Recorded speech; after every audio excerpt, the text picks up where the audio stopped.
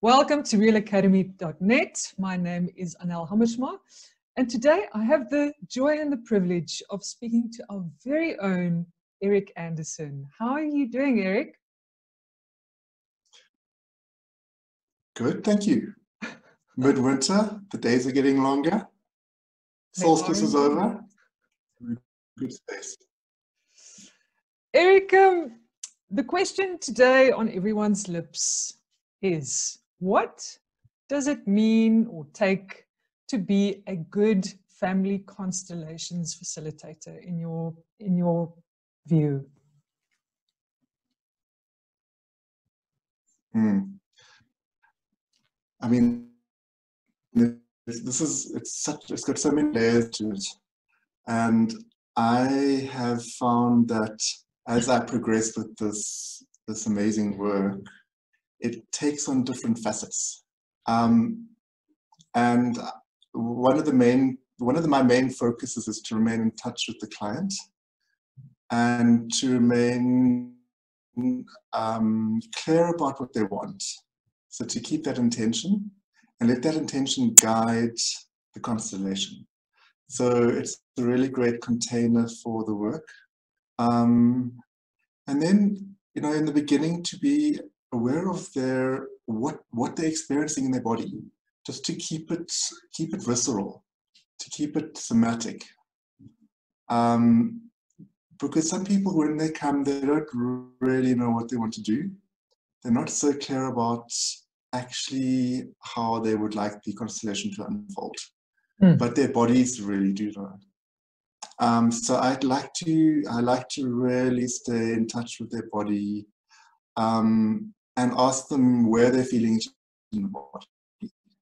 So I often start with the inner parts, externalizing those those parts that, that, that they've identified in the body, and then to externalize those as representatives. And um, then just to let it grow from there. So not to start too complicated, not to start too dense, you know, not too many representatives, and then really let it let it organically grow and um, let the, the, the field speak. Um, as a facilitator, I'm, I feel like I'm giving a voice to the field. Um, so I'm remaining in contact with the energy of the field. And um, just to give it that space to, to go where it wants to. Hmm. And um, yeah, I, I I am really, I feel very privileged when a, a client says to me, you know, I completely trust, I completely trust you with it. You know, because I, I, I always tell them in the beginning, um, you know, I'm going to really follow the field here. So it may develop in a way that's unexpected, but we will go back, we will return. Um, yeah, so I, I also I use uh, Bertold Ulsamer's um, his triangle of of reality, energy, and orders. I keep that in the back of my mind when I do a constellation. Tell me more um, about um, because that. I can. So, the energy of a constellation would be how the representatives, the position that the representatives are taking. Are they standing facing each other or away from each other? How do, how do they want to move? Um, and then the reality would be um, what actually happened. You know, not, not going to abstract, or if one is abstract, to take it more into the reality. So often the constellation for me, especially when I'm following the field and the energy of the field, so the positions, but also actually what the field, what I'm sensing in the field. Um, I, I, really do um, keep it, I, I, like to keep it real. Um, because when one goes into the energy, it can get quite abstract. Mm. So keeping it real and keeping, asking, staying in touch with the client, um, because as you progress and as they remain, if they are, if they remain with constellation, you know, they will tell you about certain things that have happened as the constellation progresses. Yes. it will trigger memories in them or it will trigger comments in them. Um, so that really brings you to the reality. So yeah, that's when I asked them, okay, so what else would you like to tell me here? What else are you, are you experiencing in your, in your body? And, you know, it's, it's really valuable information. Mm. Um, and then also, yeah, and then also to remember the orders, um, the orders of love.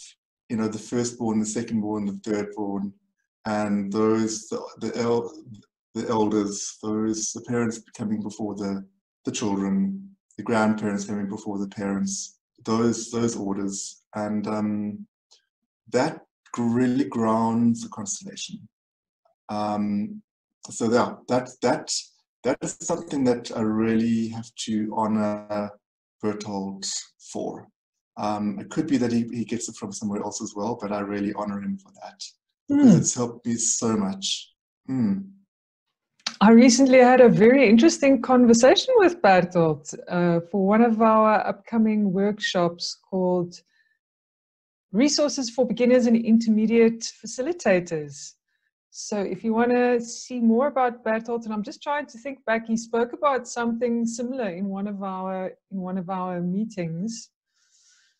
It might have been that. I'm not 100% sure. Um, Erik, is there? Have you ever seen a facilitator do something that you were like, oh, uh, you know, like a fatal, a fatal mistake. Are there any fatal mistakes that we should like be aware of? I mean, I mean, flip. When, we, when we all have our own flavor, you know, as facilitators, we all have our own flavor, and we all work, hopefully, work with our own strengths. You know, as and um, uh, you know, in the beginning, in the beginning when I was doing the training, it was quite glaring what I did that was perhaps um, too forceful, and perhaps some of my, my clients, my peers. Um, yeah, I would say putting putting too much structure, putting too much from your own um, learning, if you like, into a constellation that is perhaps not a match for what the field is actually revealing and bringing bringing to the surface. Mm. And I would say also maybe losing touch with the client and getting too entangled yourself as a facilitator in the story of the ancestors. Um, yeah.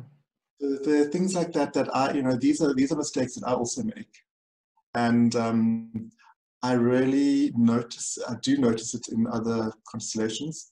Yet, as I've progressed with this, I really am a lot more, well, I, I try to be more humble about when I watch somebody else facilitate because it is such a, it is such a big experience and it's such a layered, multifaceted experience. Mm. And to hold that, you know, I really have such respect for other facilitators you can do it. So, you know, and I also, I think I also honor the, that the field might not want certain things to surface at that stage. So maybe something that I can see as, as an onlooker is maybe not meant to um, come up during a constellation. Um, so this, I, I, sort of have maybe have a bit more of a of an honoring of other people's work. Mm. Mm. Um, but I, I, would say what what does jar if if is if there is um, a lack of touch and connection with the client. You know, I recently realized that there is apparently a school of family constellations that discourage that there is a school of family constellations where they don't want to have too much of a connection with the client.